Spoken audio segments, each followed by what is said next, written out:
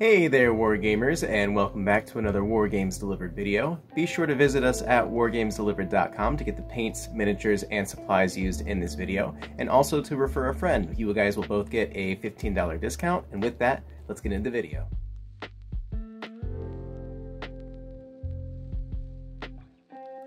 In this two-part video series, we'll be painting a Stark Outrider Cavalry model from a Song of Ice and Fire miniatures game with this video being part 1 focusing on the horse. With this model, I did a Zenithal base coat from black to gray to white to see how the newer speed paint works with more of a slap chop style of basing. Uh, starting out with Occultist Cloak, this is going to be the fur color of our horse.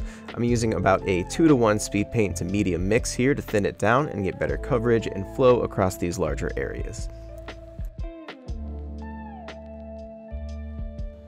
You'll see me go back to my palette to add more paint pretty often. This is just to keep the speed paint consistent across each area. If you have a larger brush that can come to a fine point, that would be the best tool to use here. With that dry, it gave us a nice dark blackish blue for a fur tone on the horse. Now we can move on to the reins, and for this we'll want to use Satchel Brown to create a nice dark leather color for these spots.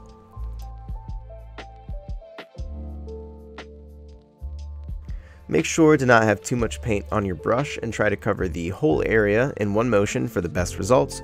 Also be careful around the areas we've already painted with Occultist Cloak. And also while you're filling this in, try to leave the rings between the reins blank for now. We'll come back in a later step to cover those up with a metallic speed paint.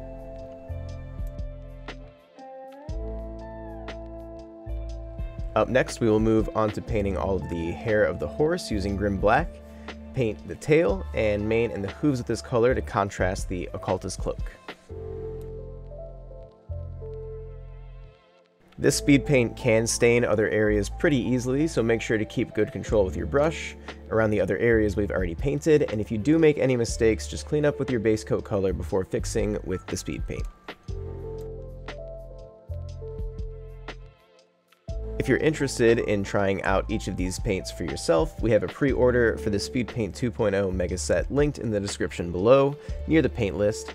And while you're there, be sure to refer a friend and get a quick $15 discount for yourself and your friend before your order.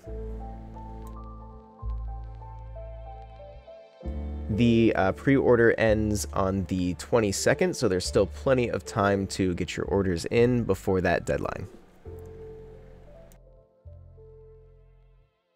And back to the video, uh, with the new Grim Black, you can get a solid black color out of it with two to three thin coats, uh, if that's what you're going for.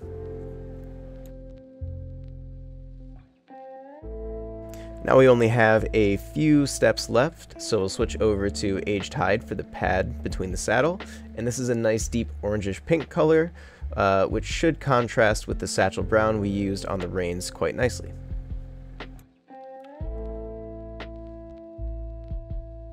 You'll see me use a base coating brush and a fine detail brush in this clip because it has some larger areas and some very small hard to reach spots, so always be sure to have uh, some options to make your life easier when you're painting. We are also restarting our Instagram story contest soon, so be sure to follow us there at Wargames Delivered and uh, send us your entries for a chance to win even more prizes. Next up, we have some smaller fur areas poking out underneath the rider on the saddle, so we'll use bony matter to fill those spots in. This is a great pale bone color uh, that is perfect for textured furs as well as bone. And just like with the aged hide, uh, there are some smaller areas, so we'll be switching back and forth between the brushes uh, as well in these shots, uh, using again a precise detail brush and a base coating brush. For our final few steps here, we're going to be using the Speed Paint Metallics using Talos Bronze first. We're going to paint all of the rings within the reins with this color.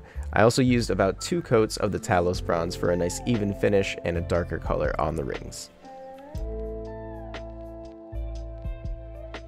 And you may have noticed I saved the metallic steps uh, for last. I find it's much easier to finish the regular speed paints first uh, and then use your metallics second, just to avoid contaminating your paint water and your brush. And lastly, we'll move over to Broadsword Silver to paint some of the rivets on the reins. In the next video, we'll be using this paint quite a bit, so having a little bit on the horse as well will sort of unify the entire piece. I actually haven't painted too many mounted units, uh, but as a quick test scheme of the speed paints, I was very pleased with how this one turned out. Uh, be sure to check back for part 2 in this video series where we'll finish off the rider of this model and finish our first cavalry model on the channel.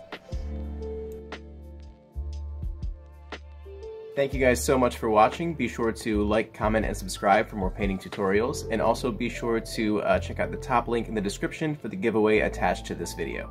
Thanks again, guys, and happy wargaming.